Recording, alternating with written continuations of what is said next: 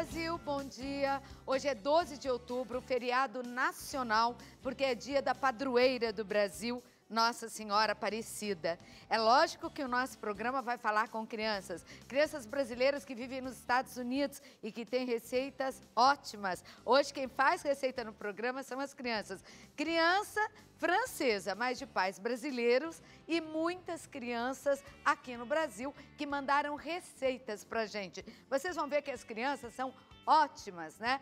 É, Mestre Cucas. Mas é lógico que o nosso programa não poderia deixar de começar falando lá do Santuário Nacional de Aparecida, da cidade de Aparecida, onde fica o maior templo católico do mundo após, né, em Roma, lógico, que nós temos lá o Templo de São Pedro, mas aqui no Brasil e em várias partes do mundo é o segundo maior templo católico, que é o Santuário Nacional de Aparecida. Agora há pouco, às 9 horas da manhã, foi celebrada pelo arcebispo de Aparecida, é, o Dom Orlando Branches, a missa solene. Mas de hora em hora hoje o santuário está desde a meia-noite com as portas abertas, esperando os fiéis. Depois de dois anos aí de pandemia, o ano passado em que estava restrito, neste ano mais de 35 mil pessoas devem ocupar o Santuário Nacional. E de Aparecida, falamos agora com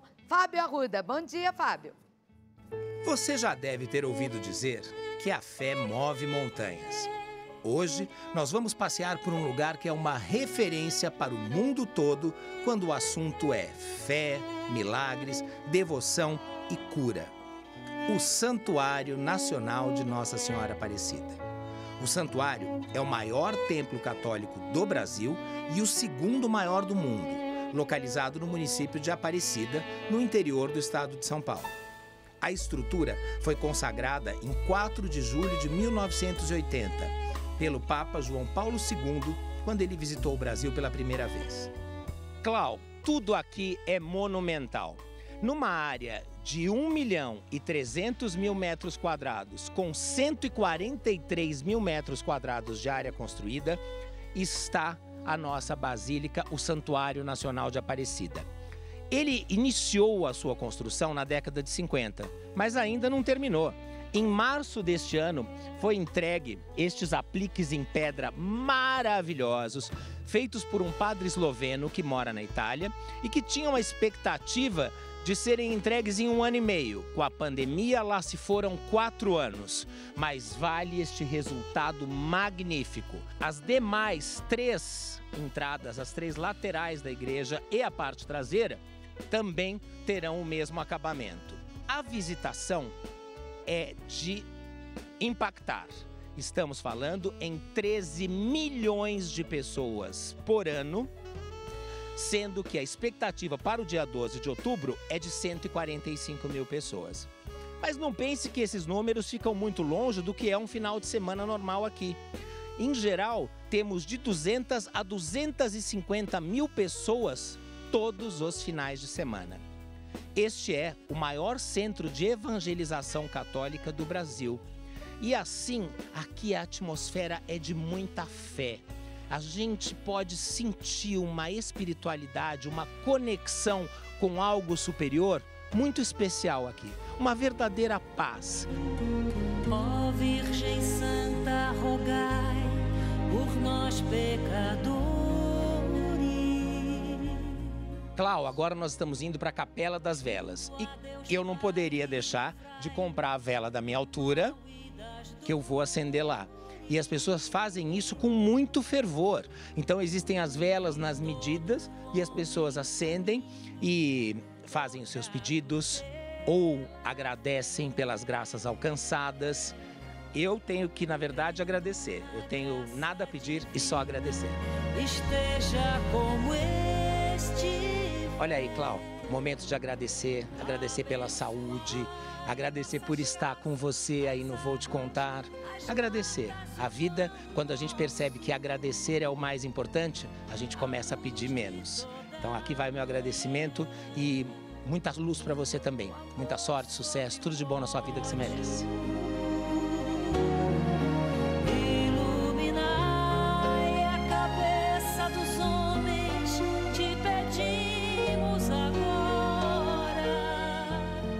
Curiosidades muito interessantes.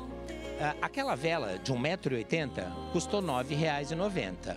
Agora, por final de semana, aqui são consumidas 10 toneladas de parafina. O que, que acontece?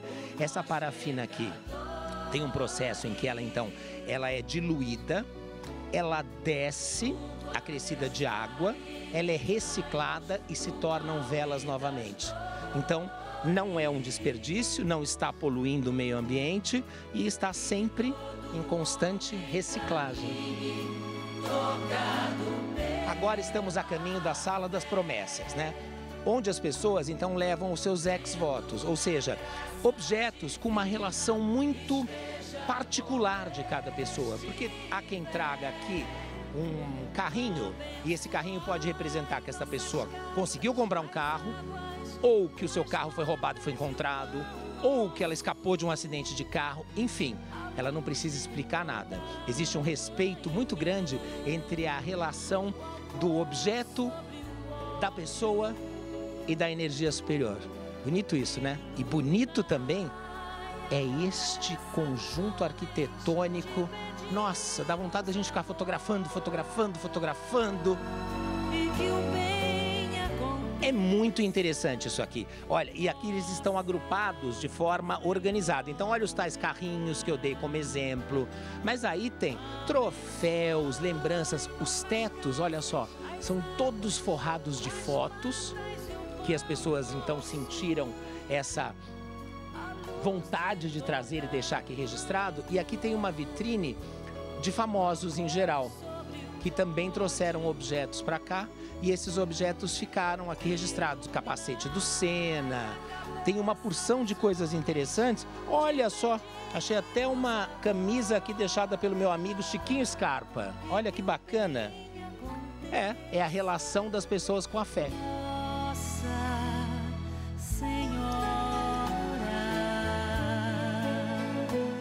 Olha, estamos aqui nos corredores a caminho da imagem de Nossa Senhora. Mas tem uma coisa muito interessante aqui. As portas, como vocês podem ver, tem um formato de mão. Olha os dedos ali em cima e as portas, como quando estamos com as mãos aqui em oração e agradecimento.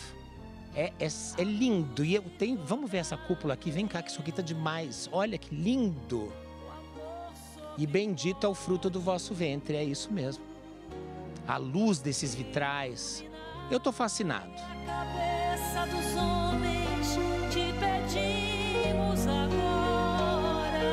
As pessoas já estão aqui se sentando para a missa das sete da noite, estão aqui ocupando seus lugares e aqui tem alguns detalhes bem interessantes, porque nós vamos até a imagem, tá? A imagem está lá, numa toda protegida, uma vitrine protegida, climatizada, afinal de contas é a imagem original. Mas mais detalhes interessantes. Aqui cabem 8 mil pessoas sentadas e 27 mil pessoas em pé com os corredores livres. Ou seja, 35 mil pessoas podem estar aqui ao mesmo tempo. O que provavelmente vai acontecer nesse 12 de outubro. E este, aqui onde está a cúpula principal no altar central, tem 70 metros de altura. E as imagens, as imagens do paustro, que é lindo. Olha, é sem palavras mesmo. Estamos chegando, estamos chegando ao local mais visitado aqui de Aparecida. Justamente a vitrine onde está exposta a imagem original, a encontrada à beira do rio, de Nossa Senhora Aparecida. Vamos lá. Olha só, Klaus, chegamos então ao trono da imagem, e é o lugar mais visitado aqui de Aparecida. E tem uma, uma coisa que eu acho muito especial: essa, essa imagem que transmite tanta fé, tanta gratidão das pessoas, tanta devoção. Na sua, na sua gigantitude, ela tem apenas 37 centímetros de altura, mas ela representa algo que a gente não consegue medir. A luz de toda O interior do trono é todo de ouro e ali você vê as imagens dos peixes, justamente em, em alusão a, ao rio Paraíba do Sul, onde ela foi encontrada. E essas laterais aqui são pastilhas douradas que vão do chão ao teto.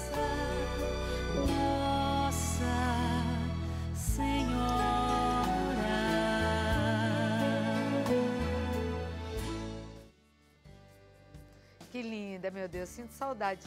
É, como todos sabem, eu sou muito devota de Nossa Senhora Aparecida. Tanto eu como o Fábio Arruda estamos de azul e branco hoje numa homenagem à rainha padroeira do Brasil. Daqui a pouquinho eu continuo, porque tem outras coisas lindas para você conhecer em Aparecida e vale a pena visitar. Até quem não é católico, é um dos mais lindos templos né, religiosos do mundo. E não está lá na, em Roma, não está no Vaticano, é aqui e você pode conhecer. Você vai gostar, vou te mostrar já já. Eu venho aqui para a sala, que aliás está lindamente decorada, depois eu conto quem fez essa decoração bonita. Ah, vou falar já. A Yara e a Karina.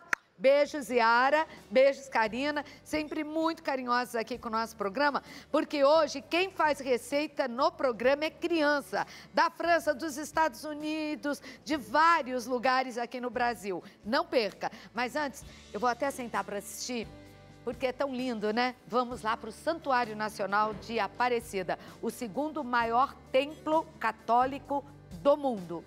Fábio Arruda. Em 1984, a Conferência Nacional dos Bispos do Brasil elevou a nova basílica a Santuário Nacional. Localiza-se no centro da cidade, tendo como acesso a Passarela da Fé, que liga a basílica atual com a antiga.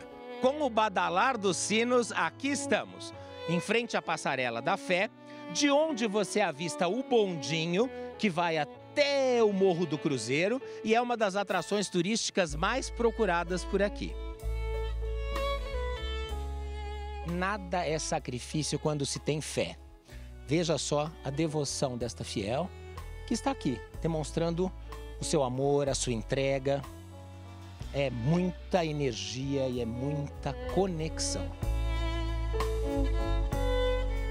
É o maior estacionamento a céu aberto da América Latina. 6 mil vagas. Os números aqui são incríveis. Agora, em dias especiais, como o dia 12 ou nos finais de semana, são 3 mil ônibus. 3 mil. Não é brincadeira, né? Esses quase 400 metros são ascendentes, né? Porque a gente está indo lá para o topo, justamente onde está a Basílica Histórica.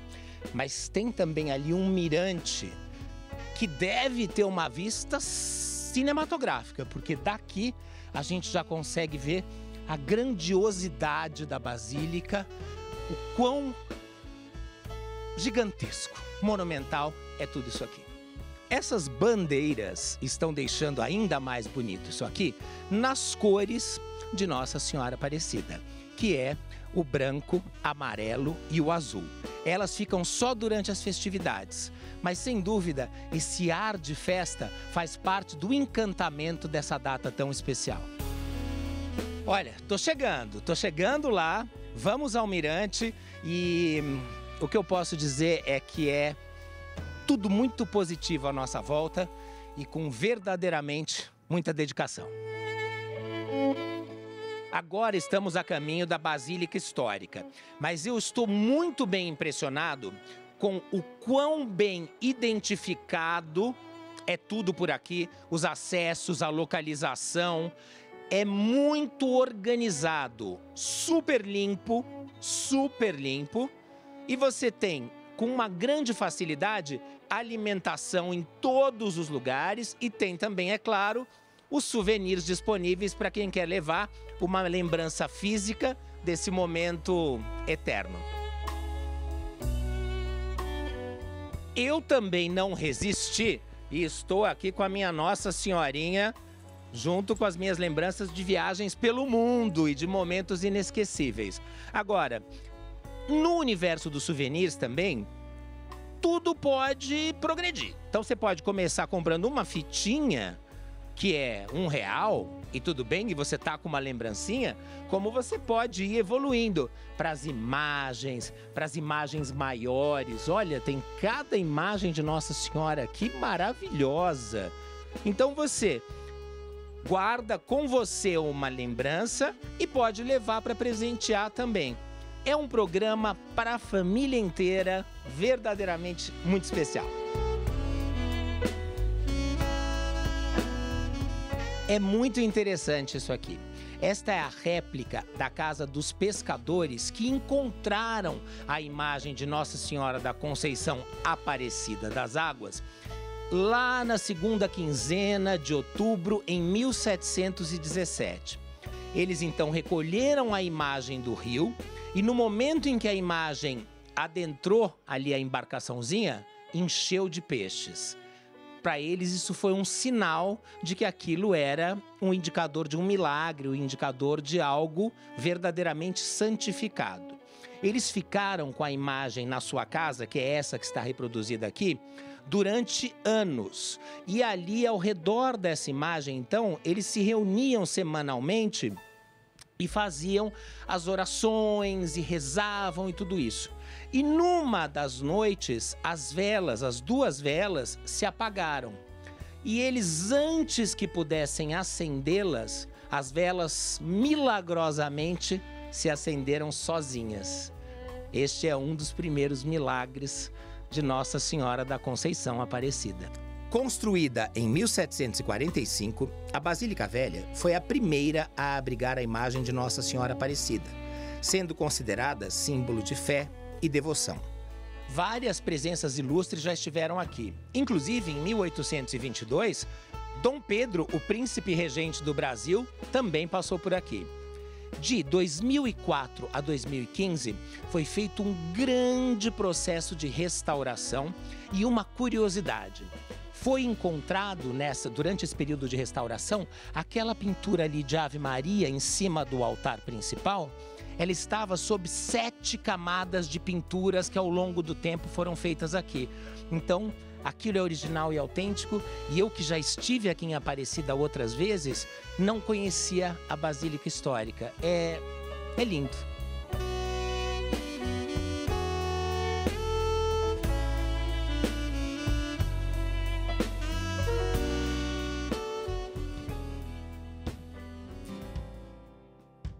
Agora, ó, você que está assistindo o programa, eu, é, dá tempo de tomar uma água, fazer um xixi. Mas fica aqui comigo, por favor. Eu estou ao vivo e hoje é dia de Nossa Senhora Aparecida e Dia das Crianças. Gente, nós voltamos, são 11 horas, eu tô ao vivo, nosso mascote chegou. E olha só como tá bonito isso daqui, berinjela. Você viu? Tem ursão, tem um monte de cachorrinho. Gente, hoje é dia das crianças, mas eu preciso pedir licença para vocês para mandar um beijo é, para uma pessoa que eu amo muito. Bom, casada há 40 anos, só podia amar bastante, né? Pro meu marido, hoje é aniversário dele. Nasceu no dia de Nossa Senhora. Um beijo, Mi. E agora eu vou continuar nessa linha caseira, porque tem criança que gosta de cozinhar e cozinha bem. E eu vou matar a saudade de alguém. Eu já falei que eu tenho uma família, um pé aqui, um pé na França. E ela fala português, fala francês, fala inglês, mas ela tem só oito anos de idade. E eu acho que ela puxou pra tia. Você quer ver? Não. A Luiz Troiano tá lá direto da França para fazer uma culinária bem legal para vocês. Luiz? Oi, tia Clara. Olá, pessoal, tudo bem? Eu me chamo Luiz, eu tenho 8 anos e eu moro em Compiègne, na França. Hoje a gente vai fazer um bolo que eu faço com a minha mamãe no lanchinho da tarde para mim e para o meu irmão. Se chama bolo mesclado. A gente vai precisar de uma xícara de açúcar, uma xícara,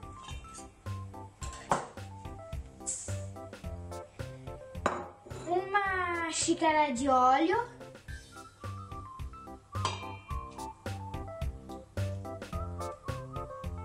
uma xícara de leite,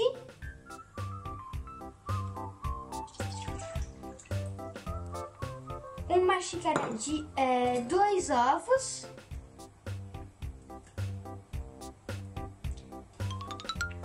duas xícaras de farinha, de sopa de baunilha em pó, uma colher de sopa de fermento. A gente vai misturar.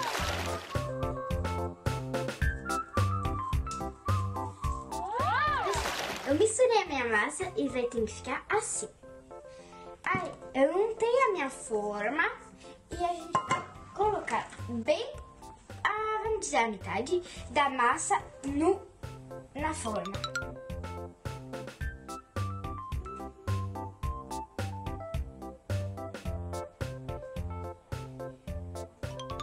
Aí, a gente vai derrubar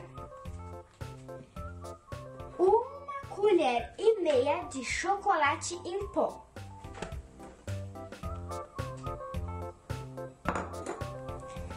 A gente vai misturar. Esse é o resultado do chocolate com a massa do bolo. Agora a gente vai é, colocar é, o chocolate no bolo.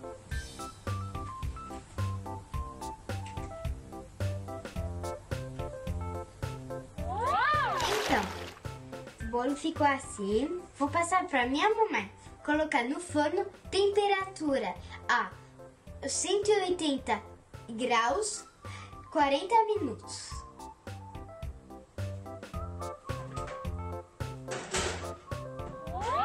Então, pessoal, esse é o resultado do bolo.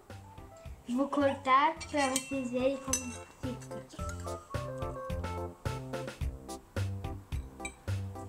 Hum, tá cheiroso até tá quentinho, tá quentinho.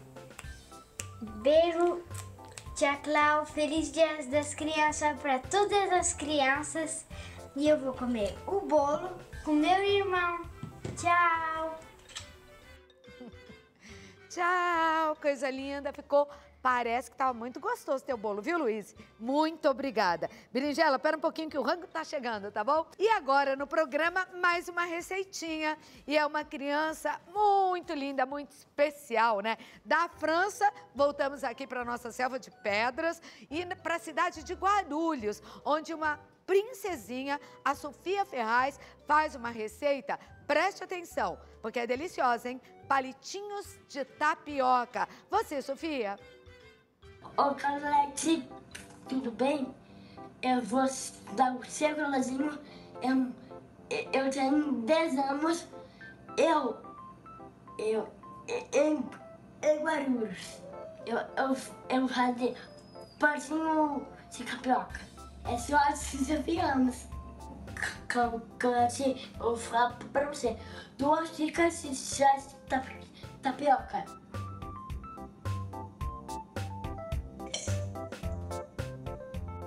Mesmo chá que é de mercúrio. Isso. Co- Contei na sopa de quem ricota.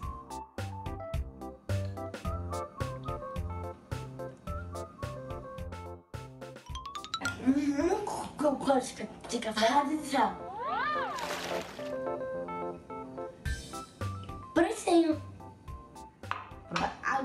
Vamos misturar. Agora misturar tudo. Vamos.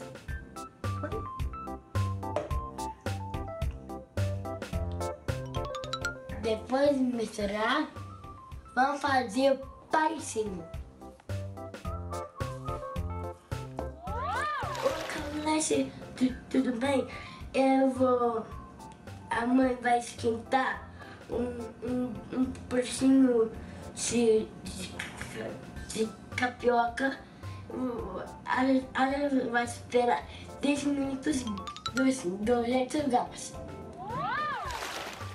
O, Caleste, esse vai ficar pronto.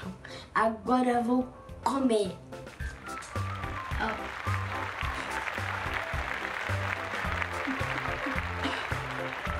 Bom, Eu também acho que ficou bom, porque o queijo até escorreu assim, né, Sofia? Obrigada, meu amor. E eu aproveito para dar um recado. A Associação Minha Down é Up, com muitas ações especiais durante todo o ano, mas especialmente nesse mês das crianças, em parceria neste ano com o Parque Shopping Maia, convida você. Eles estão promovendo a quarta Up Guarulhos, tá? Que é para as crianças. É uma corrida de inclusão. Então, eu vou colocar aqui, já tem aí o site? Não. Coloca o site para mim, por favor, para as crianças que queiram participar. Vai ser no próprio shopping e vai ser no próximo domingo. Participem, porque vale a pena. Eu acho que eu tenho também aqui para dar. Sobe aí, Marquinhos, por favor, para o site. É, para a gente poder dar. Vocês conseguiram aí, não? Tá bom.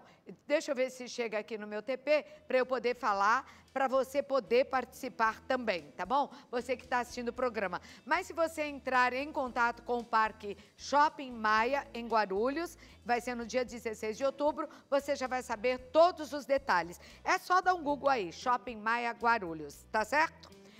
Bom, e agora nós temos mais uma garotinha, não é que nós só escolhemos mulheres não, viu? Porque tem garoto também fazendo cozinha que nós temos grandes chefes. Aliás, era o contrário, uma profissão mais ocupada por homens do que mulheres. Mas essa agora é também bastante especial, porque ela é pequenininha, ela é americana, os pais são brasileiros, ela nasceu nos Estados Unidos e é para lá que a gente vai agora conhecer a receita dos biscoitos da tia Helena. Uma receita que a tia Helena ensinou. Aliás, tem a foto da tia Helena? Eu acho que tem a foto da tia Helena. Coloca a foto que eu quero conhecer a tia Helena antes da gente ir para a receita. Tá com a foto aí, não? Da tia Helena? Tia, ó, olha aí, essa é a nossa princesa. E depois eu mostro a foto da tia Helena, então. Querida, vamos lá! Oi, meu nome é Sofia Branco, eu moro em uh, Orlando e eu, uh, eu vou fazer uma bolacha da tia Helena.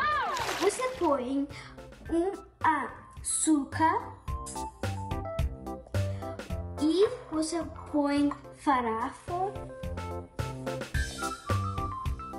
e manteiga e vanilla e uma. Ah, não. Esse é enfeite, esse um, açúcar. Agora você mexe tudo, você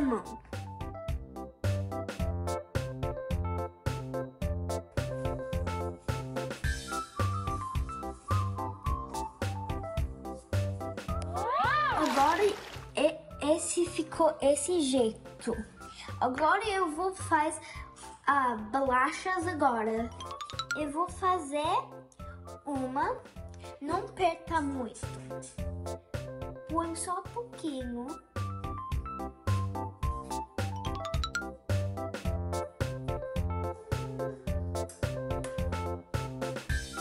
Está pronto. Agora ficou assim. Eu vou ah, esses aqui vai lá forno.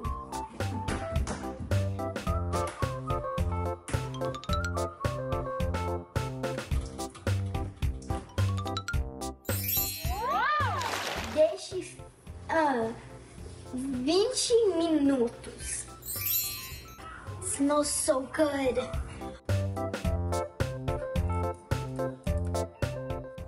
Esse.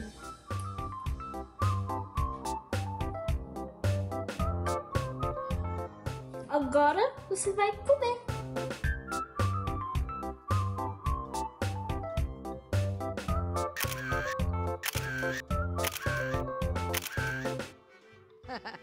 Que linda, Sofia Branco, um beijo, um beijo para os papais. Eles têm muitos parentes aqui no Brasil ainda, é um querido amigo de televisão de muitos anos.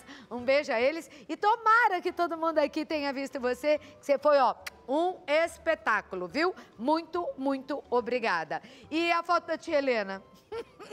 Poder ver a tia Helena. Mas, tia Helena, valeu a receita. Oh, oh, vem cá, berinjela. Vamos agradecer mais uma vez a Yara. Olha que legal, berinjela. Não dá para deitar nele, não. Mas esse daqui é lindo, né, Yara? Para decorar, né? Quarto de criança. Que criança não gosta de um abraço de urso bem gostoso? E agora eu falei que tinham garotos também nesse nosso pool de chefes mirins. Tem sim. Os garotos também mandam muito bem na cozinha e o Antônio Costi, ou Coste, não é diferente. Ele é de São Paulo e preparou uma gelatina com frutas de chantilly. Não tá fraco não, hein, queridão? Vamos ver. Oi, tia Clau. Aqui é o Antônio, eu tenho 11 anos, moro em São Caetano do Sul e estou aqui no museu mais doce do mundo. E vou ensinar a vocês a fazer uma receita muito simples e fácil, que é gelatina colorida com chantilly e frutas. Vamos precisar de chantilly, gelatina e frutas. As frutas, de preferência, a gente vai precisar elas cortadinhas, de sua preferência pode ser qualquer fruta e principalmente em cubos. A gelatina você pode usar qualquer cor, de preferência que você quiser, né? Aí a gente pode. Aqui eu coloquei verde, amarelo, roxo e vermelho, etc. O chantilly a gente sacode bastante, coloca de cabeça para baixo para não explodir. É, aí a gente vai montar.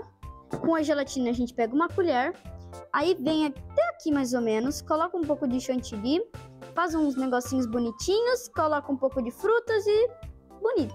Lembrando que você precisará de ajuda de um adulto para cortar as frutas e a gelatina. Então, agora vamos começar a fazer nossa receita simples e deliciosa. Primeiro a gente pega a gelatina.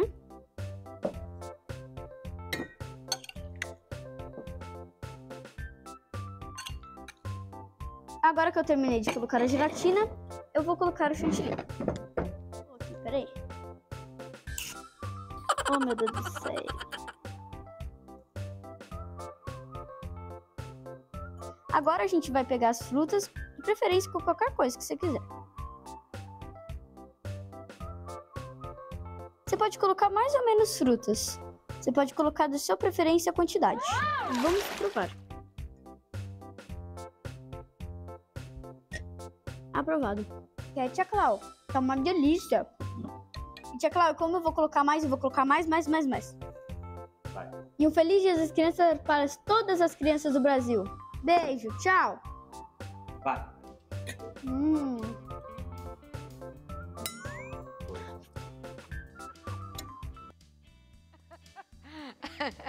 Que lindo, Antônio. Olha, Antônio, você fez muito bem. Eu também ia chuchar no chantilly, né? Que coisa gostosa, gente. Tô adorando. Olha, os chefes aqui estão correndo risco, viu? Porque essas crianças estão mandando muito bem. Muito bem. Você viu como é legal? Com supervisão dos pais, lógico. Nunca deixe uma criança sozinha na cozinha. É um lugar gostoso? É. Mas é onde mora o perigo também. Então, supervisionados, mas eles estão mandando muito bem. E que tal agora você aprender a fazer um delicioso brownie de copo. É uma receita feita pela Isabelle Alves Vieira, que mora em Guarulhos. Manda ver, Isabelle! Olá, gente. Eu sou Isabelle Alves Vieira, tenho 10 anos e hoje eu vou ensinar a fazer um brownie de caneca.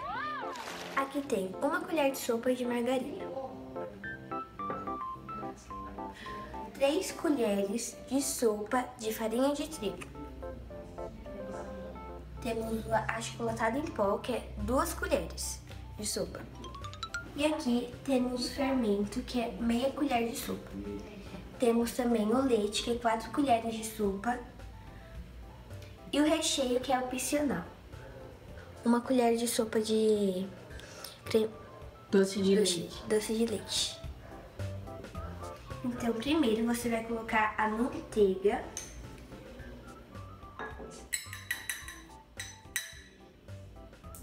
Que é 30 segundos no micro-ondas. Agora vamos esperar. Gente. Agora, ó, gente. Deixa eu ver. Agora, a gente vai colocar o recheio. Uma colher de sopa de doce de leite. Mas é opcional.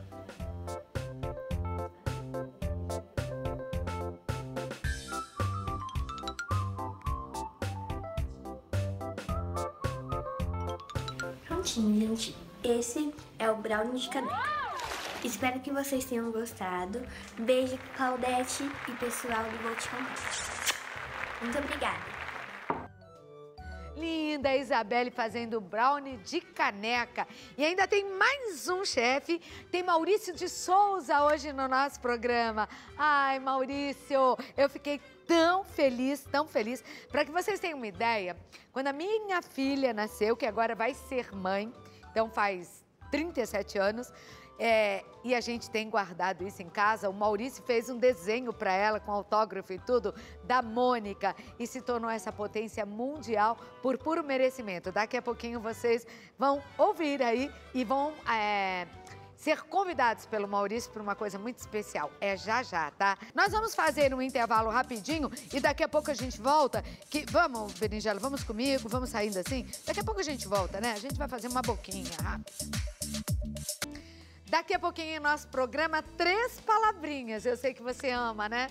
E ela também gosta do grupo. É a Sara Lopes, filha da nossa coordenadora Kátia Lopes. A tua filha é linda, Kátia. E mostrou seu talento na cozinha. É com você.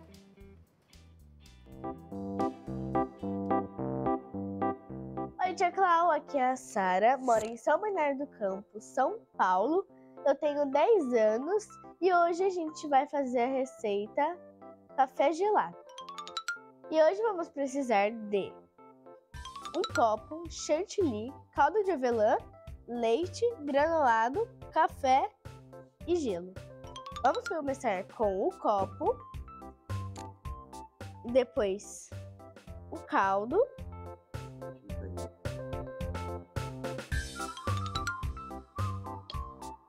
depois vamos pegar o gelo Vamos colocar bastante. Agora vamos pegar o leite e colocar bastante. Depois vamos pegar o café. E agora vamos pegar o chantilly. Como eu sou gulosa, eu vou pôr bastante, porque vocês sabem como eu sou.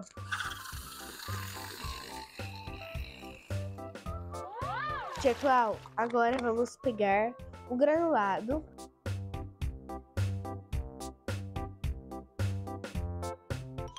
Agora vamos pegar o canudo e vou aqui provar. Tá muito bom. Se quiserem, pode fazer em casa.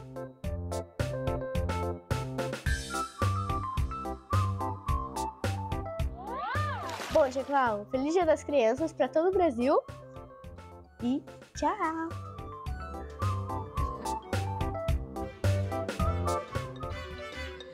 Sara, que linda!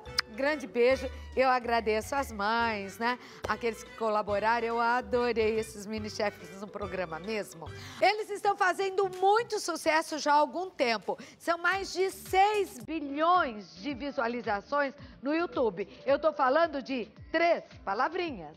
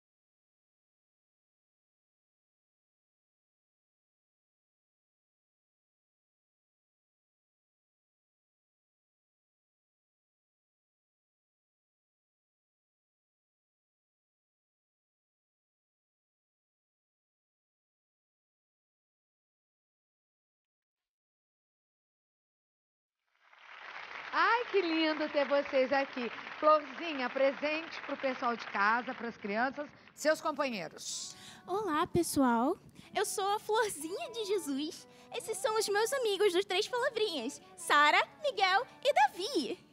E como surgiu Três Palavrinhas que canta, que fala de Deus, que fala de espiritualidade com essas músicas cristãs tão bonitas?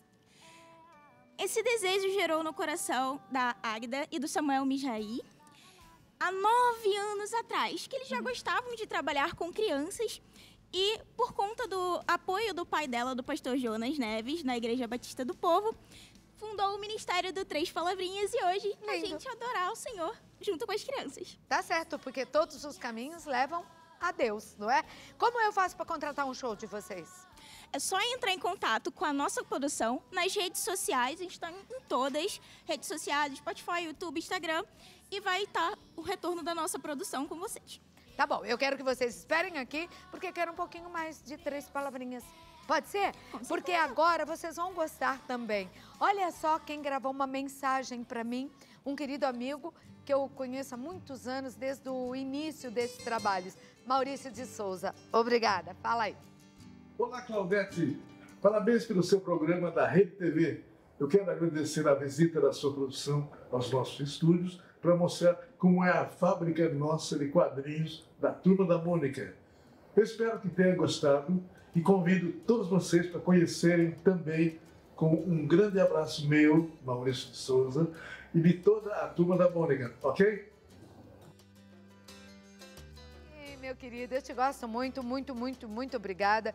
E eu fico muito feliz, né, de ver uma valorização cada vez maior dos seus personagens, do seu trabalho, do trabalho da sua equipe, que é o que vamos mostrar agora um pouco, né, através do repórter Fábio Arruda. Com você, Fábio.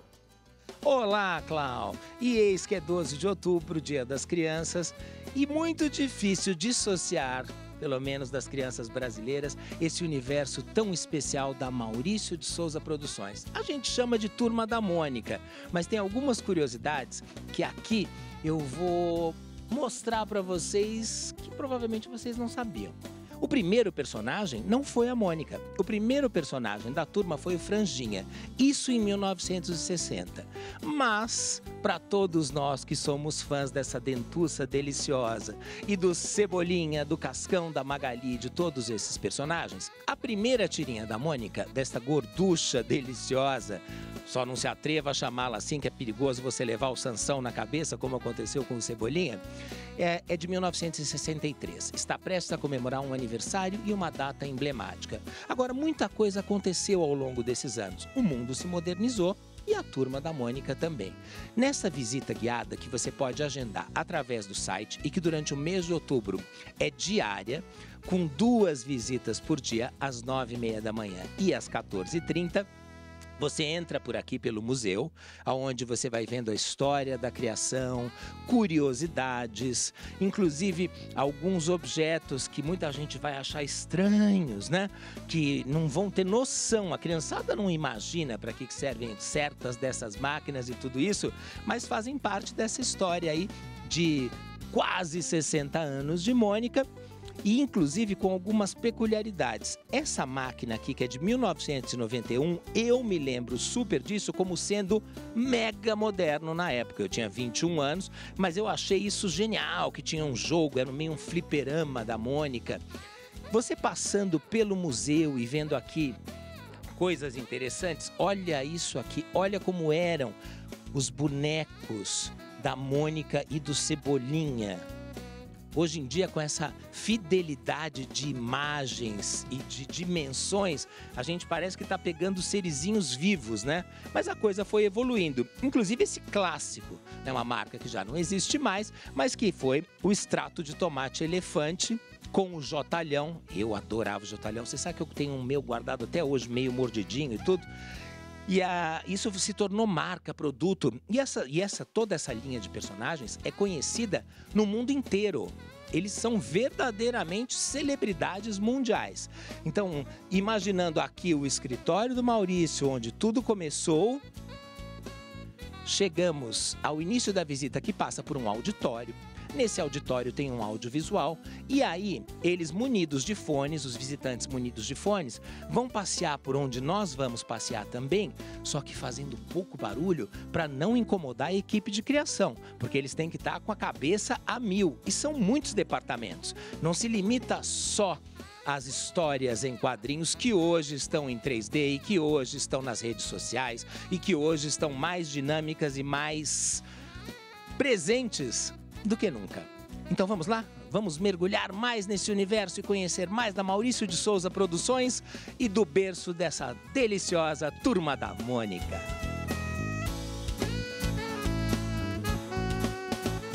A Maurício de Souza Produções, ela foi acompanhando o tempo, inclusive com a inclusão, que é algo tão importante nos dias de hoje. E existe esta personagem, a Dorinha, que é cega, e é uma homenagem à grande Dorina Noel, que eu conheci muito e com essa fundação que faz um trabalho maravilhoso para os deficientes visuais. Olha só, eu que já tive a oportunidade de estar com ele em mais de um momento, eu tô fascinado com a perfeição do boneco do Maurício de Souza aqui, nesse espaço super instagramável, onde você pode se sentir mais próximo desse gênio criador de tanta coisa boa, de tanta fantasia, de tanta alegria. Isso aqui é a verdadeira essência do grupo Todo Turma da Mônica. Olha, gente, olha que demais! O anjinho, nossa, super que eu adorava o anjinho. Eu acho que eu gosto de todos, viu? O Horácio voando por ali. Nossa, são tantos personagens. E você? Qual é o que você se identifica mais? Que visita deliciosa, que volta ao passado, que mergulho na alegria. E aqui, onde fica a Maurício de Souza Produções, tem esse detalhe que é super importante. Em 2013, quando a Mônica fez 50 anos, foram espalhadas 50 imagens da Mônica, caracterizadas por artistas plásticos dos mais variados, pela cidade de São Paulo, representando o Mônica Parade é uma exibição que começou com a vaca, que foi o Cow Parade, e hoje tem parade de uma porção de coisas. Em 2013, ela não podia deixar de ser homenageada. E 13 delas encontram-se aqui. Qual será a sua favorita, hein? Olha, eu acho que eu quero abraçar todas e levar todas comigo, porque a criança Fábio Arruda, essa não morre nunca. Ai, eu adoro o Cascão. Gente, cada um gosta de um, né? Maurício de Souza, um grande beijo, amigo. A produtora é linda. E olha aí, um passeio maravilhoso para fazer com as crianças, talvez hoje ainda. Falando em criança, ô, ô Berinjela, vê se você aprende, ó. Cabeça, ombro, joelho e pé. Cabeça, ombro,